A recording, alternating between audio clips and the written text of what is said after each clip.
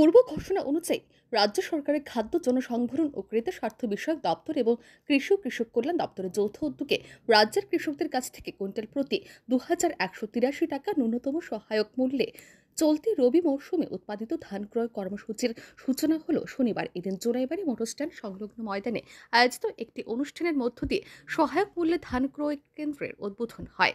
এই উদ্বোধনী অনুষ্ঠানে উপস্থিত ছিলেন রাজ্যের খাদ্যমন্ত্রী সুশান্ত চৌধুরী, কৃষিমন্ত্রী রতনলাল নাথ এবং সমবায় দপ্তরের মন্ত্রী তথা জোলাইবাড়ি বিধানসভা কেন্দ্রের বিধায়ক শুক্লাচরণ নোয়াতিয়া সহ অন্যান্যরা।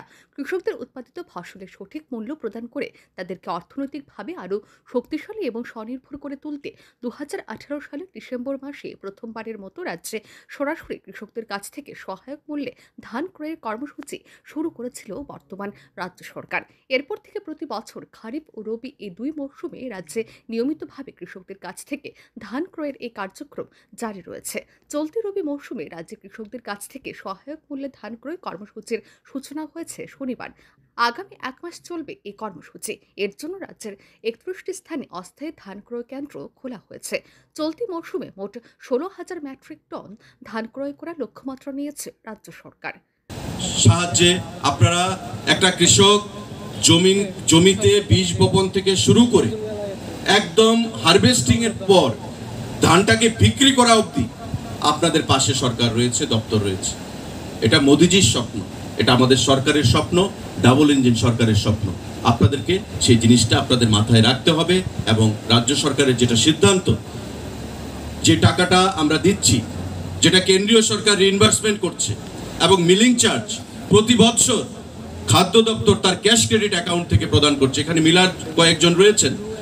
তাদের যে মিলিং চার্জ এই মিলিং চার্জ আমরা রাজ্য সরকারের খাদ্য দপ্তরের ক্যাশ ক্রেডিট থেকে আমরা প্রতি বছর প্রদান করছি। আমাদের ইচ্ছে রয়েছে সদিচ্ছা রয়েছে আপনাদের পাশে দাঁড়ানোর।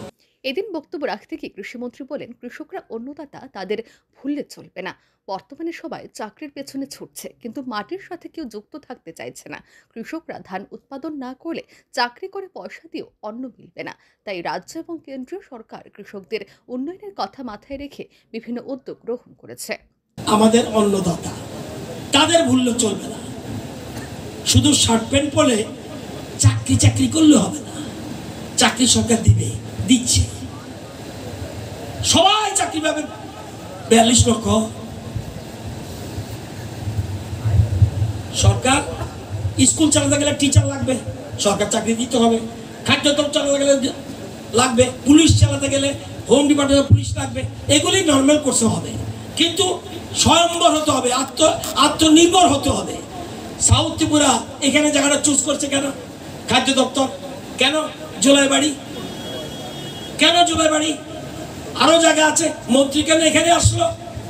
সাউথ ত্রিপুরা খাদ্যে স্বয়ম্বর এই জন্য এসছে সিপাহীজলা স্বয়ম্বর এবং গোমতী স্বয়ম্বর এই তিনটা খাদ্যের স্বয়ম্বর খাদ্য শস্য স্বয়ম্বর ধানেতেও স্বয়ম্বর আর খোয়াই, ধলাই এবং উনকোটি কাছাকাছি। পশ্চিম ত্রিপুরা পিছনে এবং উত্তর ত্রিপুরা পিছনে। আমরা চেষ্টা করছি ওই তিনটা ডিস্ট্রিক্টও খাদ্য স্বয়ম্বর করার জন্য। এদিন বিশিষ্ট অতিথিদের মধ্যে উপস্থিত ছিলেন শান্তিরবাজার বিধানসভা কেন্দ্রের বিধায়ক প্রমোদ রিয়াং, খাদ্য জনসংভরণ দপ্তরের বিশেষ সচিব রাভাল হেমেন্দ্র কুমার, দক্ষিণ ত্রিপুরা জেলা শাসক সিদ্ধার্থ শিব, জেসওয়াল, খাদ্য জনসংভরণ দপ্তরের অধিকর্তা নির্মল অধিকারী, কৃষক কৃষক কল্যাণ দপ্তরের যুগ্ম অধিকর্তা রাজীব দেববর্মা সহ অন্যান্যরা। Bureau report, R E news.